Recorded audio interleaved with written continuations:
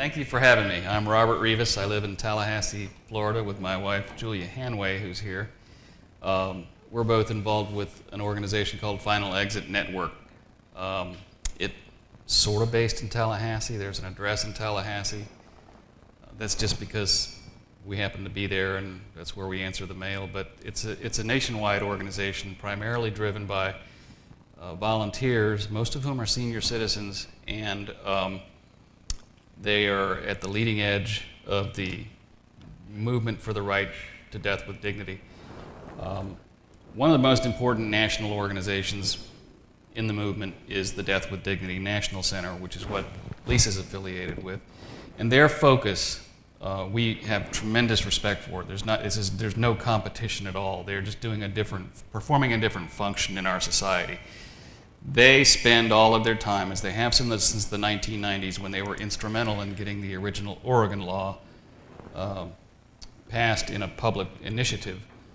Um, they stay focused on providing political support for law change. That's what they do. Final Exit Network spun out of an organization, you may remember the name, called the Hemlock Society. It dates back to the 1990s. Um, the old timers of the Hemlock Society, when it broke up, formed around Final Exit Network and really became the, the driving force behind Final Exit Network.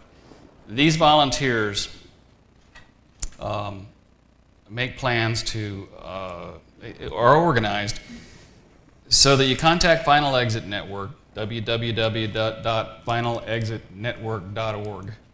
If you go to www.finalexit, it will take you to the website called the ERGO, the Euthanasia Research and Guidance Organization, which is run by Derek Humphry. He's the great gray eminence of the Right to Die movement. He wrote a book called Final Exit in the 1990s that uh, our organization is, it's our, uh, we're its namesake. Or is that the other way around? The, the uh, uh, Final Exit is the namesake of the Final Exit Network, and Final Exit Network, www.finalexitnetwork.org. Um, if you go there, you'll find out everything you, you might want to ask about it. There's also most members of Final Exit Network, a lot of people think that they would never call Final Exit Network until they're ready to die, and that's the reason you call. We just wish we could get people over that idea. 90%, 95% of the members of Final Exit Network are not dying. They're not contemplating their deaths at this time at all. They're members because they want to show support for Final Exit Network and because they want to give contributions, uh, even if it's just in the annu small annual membership fee. I think it's $50 for an individual and $75 for a couple. Even that'll be marked down if you can't afford it. Um, but they want to show support for the right to the, move, the movement for the right to death with dignity, and they want to show support for what exit guides do. We also have two uh, copies of the quarterly newsletter over there, recent ones. One of them's got a, an article on uh, people dying with Alzheimer's, and uh, it was mentioned earlier this evening, talking with your kids about your end-of-life choices. Um, there's an article on how to talk to your, your grown-up children about your desires and preferences because it's important for them to know. But back to Final Exit Network, the, these volunteers, called exit guides, we get a call. It's not a pro suicide organization. There are people who have thought that. And It's a weird notion. I think of suicide as being something that is a tragedy that somebody who is driven to when they shouldn't be because of a condition um, of the mind that, that makes them makes them seek out suicide and that's what suicide is but our culture doesn't have a word to distinguish Suicide, and I mean, by that I mean one that is driven by an irrational impulse, from one terminating one's own suffering when there's no alternative. There's no alternative except a miserable, brief remaining experience. Maybe it would even be a long time. But there's no way to alleviate the suffering. There's no way to end whatever is making your life miserable. Um, in that case, and, and we screen to make sure that we only have appropriate people who are legitimately candidates for Final Exit Network's exit guide services. And once we screen, we work with them to provide exit guides to go teach them how to make sure that they don't botch their own deaths. We don't have a word for that kind of, to, that kind of death, and I accept the use of the word suicide sometimes because as a lawyer, that's what it is legally. It's, to me, it's just a legal term, and I, have, and I sort of have to use it a lot. Um, I, by the way, have been litigating um, matters pertaining to constitutional cases pertaining to the right to death with dignity in, uh, in trial courts and appellate courts across the country since well, just about exactly 20 years now, since the 1996. Um, I've had decisions of the Supreme Courts of Florida, Georgia, and, uh, and Minnesota that were a result of, of uh, my work that uh, expanded or affirmed the right to death with dignity. Well, Florida we lost, but it nonetheless was an important landmark case in the 1990s for even for having lost. But um, exit guides go to people who have applied and have been cleared by our committee of medical professionals to uh, obtain services that basically amount to nothing more than giving information and showing compassion and showing support. The other groups, uh, like the Death with Dignity National Center, involved in the right to the, mo- for, the movement for the right to death with dignity, don't really get involved in that kind of direct support. They stay focused on lobbying legislatures and passing ballot initiatives and things. Final Exit Network takes the position that when the laws are all changed across the country so that they're all perfect, then there will be no more need for Final Exit Network, and we'll be very happy. We'll be happy to shut, to, sh- shut the doors and, and, uh, discontinue e- even existing. But um, until then, somebody needs help now, and that includes not only all of the people who live in states where there's no death with dignity law, and there are death with dignity laws in only four states, but um, even in the law in the states that have death with dignity laws, physician-assisted suicide laws, those laws don't apply. It's been discussed by a couple of people who raised some questions here tonight. This problem just keeps uh, nagging at the at the issue is that they don't they don't they don't have the flexibility to allow somebody who um, has a long, slow process ahead of them where a doctor could never say, you have from today, and they have to say within a quote unquote reasonable degree of medical probability, you have six months or less to live. The doctors can't say that. I mean, the whole idea is absurd. The law is, is working with a fiction. They're trying to get the public to accept the idea that the law is only applicable to people who are terminally ill and dying. But the fact is, even with an ordin- most ordinary cancer patients, depending, depending on the patient, the type of cancer, and so forth, but most ordinary patients, when a doctor signs one of those six month statements, you know, the person's within six months of death, they don't really know that. Doctors will all tell you. They don't know that. When a, when a patient enters, all the nurses here can tell you, when a patient enters the final agonal stage, as it's called, the dying stage, that's obvious. Then, if they waited until then, the doctor could say, "Well, sure, six months less, absolutely, it's perfectly clear." But somebody who's who's not yet reached that stage, which is everybody who is applying for the application of a death with dignity law, somebody who has not yet reached that stage, any doctor would have to say, "I don't know, he might." Uh, hit upon a hot streak. You know, it could very well be that, he, that this person, this patient, she uh, carries on for nine months. I, I can't say within a reasonable, or a year. It would not be a miracle from God. It would be a phenomenon of nature if the person happened to live two years. Who knows? That's what the doctors really will tell you. They tell you that it's phony as hell to sign a six month certification. So they, what they do, I believe what doctors do is they, they ask themselves, is it reasonably clear to me that this person's terminally ill, is going to die soon, and I think that this person's a logically a sound candidate, and if so, I'll go ahead and sign the six month thing. That's really what it amounts to. But nonetheless, they won't sign it for somebody who's got who's clearly got two years left to live, and Final Exit Network will talk to those people and help them. We don't help them, I, excuse me, I, I shouldn't say that. One of the things that we have to do in Final Exit Network in order to keep the organization alive in the world is not violate the law against assisting in a suicide. There are laws in 39 states that make it a felony to assist in a suicide. It's the only law in American culture that's known to the Western world where it's a crime to assist somebody in doing something that itself is not a crime. It's not a crime to commit suicide, but it's a crime to assist somebody else in suicide. What does assisting mean? It's a problem that causes the litigation that I mentioned that I've been doing all over the country. Uh, we think that under the First Amendment, there is an absolute First Amendment protected right to go to people and give them information, to go to people and show them emotional support. Tell them they're not crazy. Tell them that there are people out there who understand what they're going through, and it will, it will even sit with you when you do it. it won't touch anything. Can't even lift up a something that you need in the dying process and hand it to you because that's assistance. Assistance to us, we think the law should require. I'm, I'm, succeeding so far, bit by bit, in establishing across the country that the law should be that assisting means somebody has to do something physically.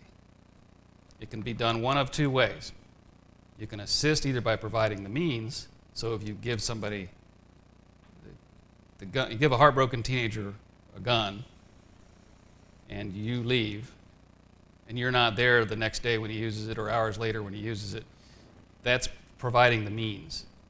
By providing the means, be it drugs or whatever, you, that's assisting in a suicide. So providing the means or physical assistance. Physical assistance means doing something at the scene of the death that the person wasn't able to do with their own hands. Or maybe they would have been, but if you did it with your own hands, then you assisted. So um, final exit networks protocols prohibit that. We don't do that. We don't assist in suicides.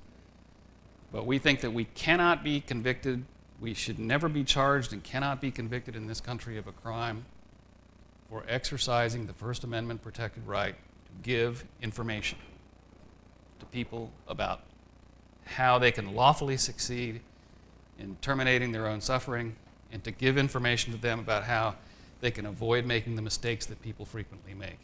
So we go to bedsides, we do that. We do that in Oregon, Washington, California, and Vermont states where they have death with dignity laws because we sometimes do it for people who are dying. We refer to what we call, uh, Lisa spent some time talking about this, the, we refer to what we call the window of opportunity. The window of opportunity is between the time when you know you need to terminate, you're going to need to terminate your suffering. You need to start making plans for that. And the time when you cross a threshold where you're either not competent or you don't have the physical ability to accomplish your death on your own by yourself so nobody else has to do it. And we can all whisper and never again mention the truth to each other, but I'm happy to report that occasionally relatives do assist people in the privacy of their homes and nobody ever knows about it. And, but that's, that's, that's just between them, people that need to know how to be discreet if they're going to do something like that. Um, and Final Exit Network doesn't do it. We're not winking and, and then really providing assistance. We don't do that. We just don't provide assistance. But so Final Exit Network now is uh, active publicly in promoting the idea that death with dignity laws should be enacted across the country that don't have the six month provision the provision that says the patient has to be within six months of dying, of six months of death, so as to include people with Alzheimer's disease, people who are dying from ALS, and other people refer to ALS occasionally who they're not even referring to uh, ALS necessarily. It's, it's become a catch all term for a number of different diseases that gradually dissolve your, your uh, central nervous system. But uh, syndrome is one of those. Um, but all those kinds of diseases uh, that you know you're passing from a stage where you can now use your own hands and drink a potion that contains seconal that was prescribed for you. But if you don't get it and take it now, you're soon going to lose the use of your hands or your ability to swallow. Then they're going to put you on a gastro, llama, t- a tube in your stomach, a feeding tube.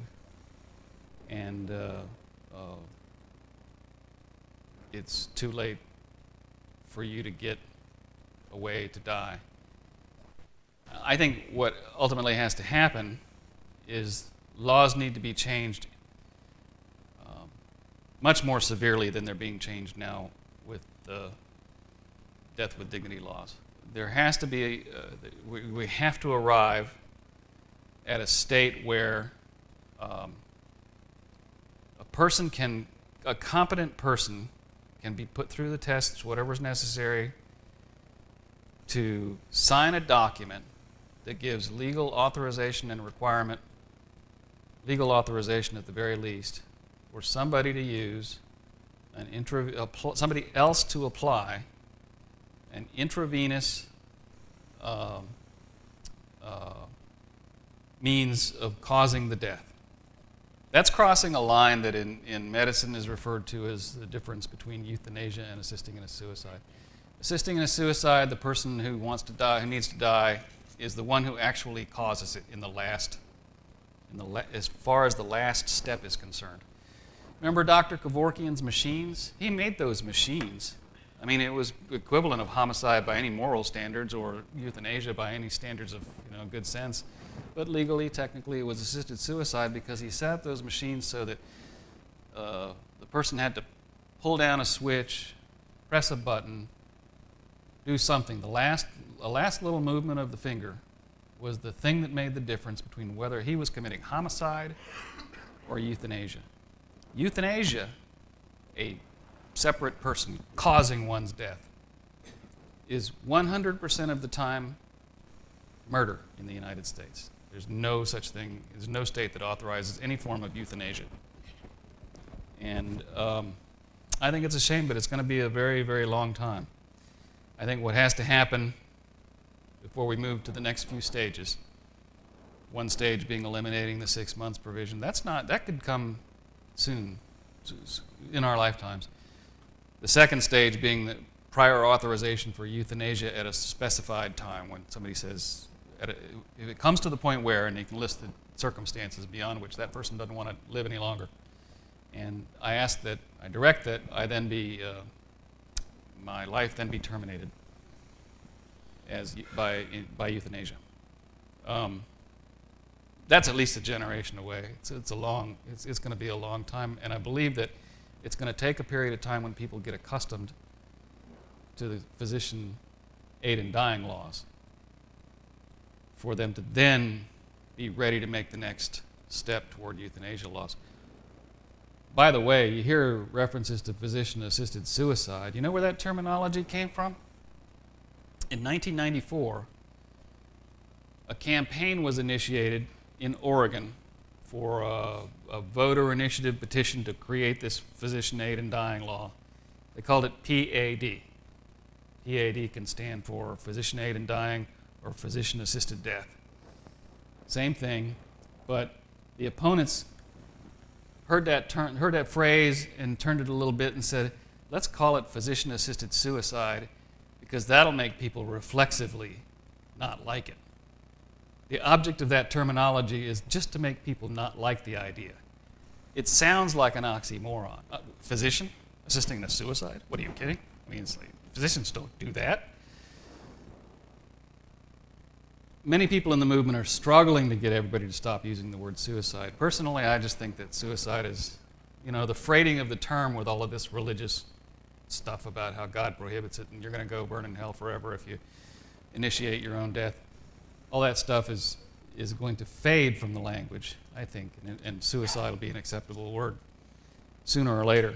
But um, in the meantime, the effect that it has on the debate nationally is that people in the movement who are behind law change really want to get everybody like Final Exit Network and uh, anybody out there who says anything about eliminating the six month provision or, or moving in the direction someday of having euthanasia to shut up. Because the opponents get up and say, oh, there's a slippery slope. I mean, you know, they get the slippery slope thing. I'm so tired of hearing about the slippery slope. I mean, I, it, it, it, sounds so flip that it just feeds the opponents for them to hear me say this. But I mean, I, yeah, we're on a slippery slope. We need to slip down it a little more. And we as a culture and as a society need to decide when we're going to stop sliding down the slope. It was only 20 years ago that it was legally, that, that a hospital in, in West Palm Beach, Florida, brought a lawsuit against the state attorney saying that it would be a crime to, to uh, there's a guy named Abe Perlmutter, and he kept pulling out the, the this tracheal tube, the, the breathing tube. And um, every time nobody was looking, he'd pull it out. They'd force it back down. And pull it out and they'd force it back down. The hospital filed a petition in court thinking that it was a crime for them not to put it back in him. Well, I think it was a crime. I think it was battery, a simple battery for them to put it back in him against his, you know, over his objection. He was competent. But it's only been a generation ago that it was thought that it was required by law. This is the reason we have an aid in dying movement, is because medicine's become so separated from individuals that in the post war era, as medicine got better and better, dying got worse and worse because everybody forgot that uh, the object of medicine is to make people better. And that doesn't necessarily mean requiring them to die hooked up to tubes in a hospital. And so by the 80s and 90s, that thing of being dying in a hospital hooked up to tubes had just reached proportions that were staggering. It was terrifying the thought of confronting a death because of the fact that you knew you were going to go through this, this excessive hospitalization thing and you'd be and you'd, you'd suffer to death. The, half the American people in those days died of ICU psychosis uh, because that's what happens when you're 24 7 surrounded by hospital lights in an ICU. But um, the, the, um, the entire medical profession has been profoundly influenced by the movement for physician aid in dying and final exit networks work because until the 1990s, there had never been a serious component in medical teaching for doctors about death. Doctors didn't want to talk about death. They didn't want to talk about what to do about it. And and it, it's, there's a specific backlash reaction in the medical community to the fact that so many people in the public are clamoring for assistance in death, and so many doctors, it used to be that all doctors just automatically recoiled from it. So I can't do that, self-righteously pretend as if it's uh, doctor can do no harm. It's violating the Hippocratic Oath. You're harming somebody. You're causing their death. Well, you know, it just, it's just a matter of looking at it differently to realize that if the doctor's not there for the person when they're dying, then the doctor's failing in the doctor's duties to the patient. And the number of doctors who recognize that is growing, and it's because the movement has provoked medical schools, the medical establishment, the medical community all to start changing their thinking and do more. Hospice has been behind a lot of it too. Uh, hospice is a great organization, and there's nothing we do and nothing that is ever done under any death with dignity law that is inconsistent with good hospice care. Good hospice care should be perfectly happy to come along and say, well, the person wants aid in dying, physician aid in dying, and has the pills next to his bed. That's great. We'll take care of them until the day they die. What's inconsistent? Nothing. But some hospices like to sort of proclaim their opposition to aid in dying and will simply walk away and abandon a patient who says, I intend to try to seek out uh, aid in my, in my death um, it seems inconsistent with what they claim to support. But those are my thoughts. Um, two cents, please. Anybody? Yes, I understand that my whole life is just a blink of an eye. The history of the earth